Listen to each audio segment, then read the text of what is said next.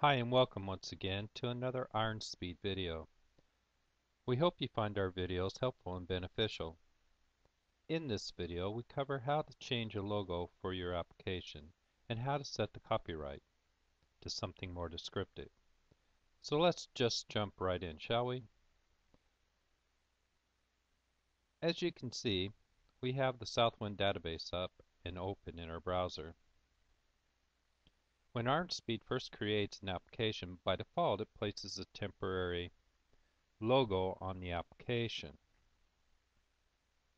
In this video, I will show you how easy it is to change. In order to change our default logo, we need to place our new logo that we want to use into the IronSpeed application. So let's navigate to the IronSpeed application that we are working on.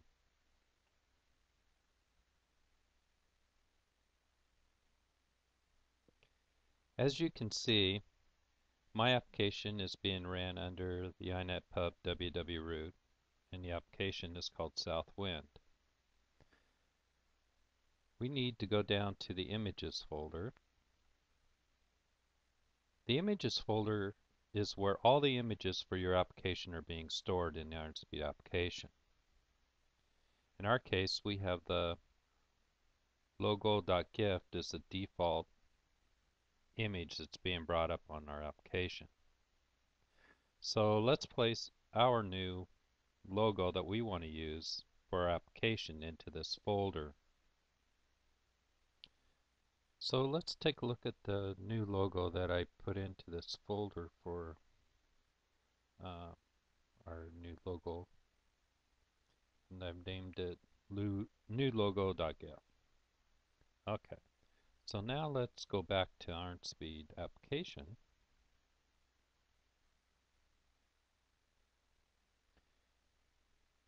Go into the header. Logo, we highlight. Come over to properties, and in our properties under the image URL, it's the name of the logo that's being pulled up. So let's change it to our new logo. We'll just name it new. Click off of the logo. I like to come over and touch a page to save the change I made up at this level.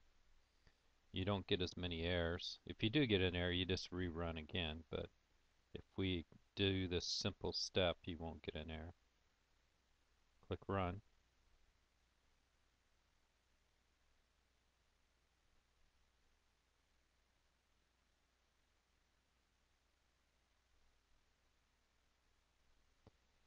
And there we go. We have a new logo where the old logo was. So you can see that it's very easy to change your logo. Our next step will be to work with the copyright. So let's go back to our IronSpeed application. And we're already here because we changed to it.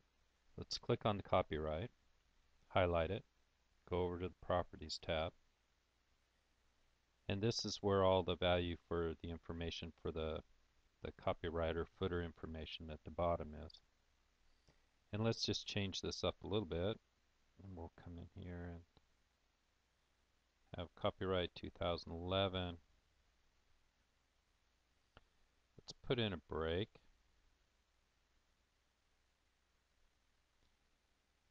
And we'll just put Wayne in here just so you can see it changed.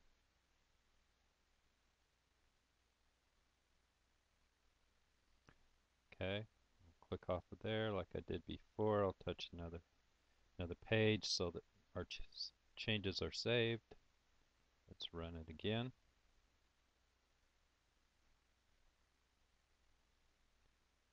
Page is loaded, so now let's go down to the footer and look at our changes.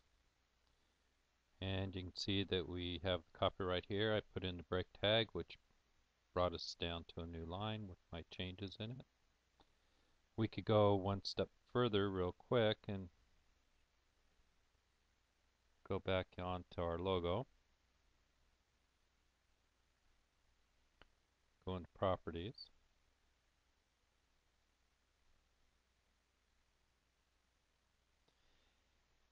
And let's say we wanted to add a a header break across the top before the uh, the information came into our footer. Let's go back to our footer. We have a copyright. Let's drag the copyright down a cell. Go to our toolbox.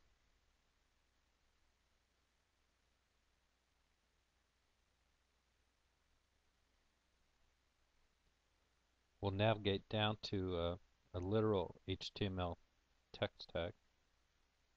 We'll drop that on there.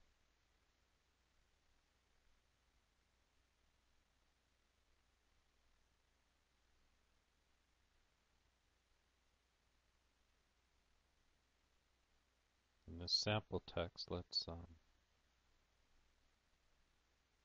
put in an HR tag.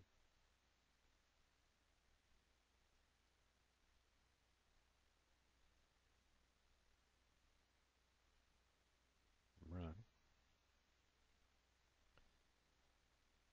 Okay, page is loaded. Let's scroll down at the bottom and, and there we have a header row running across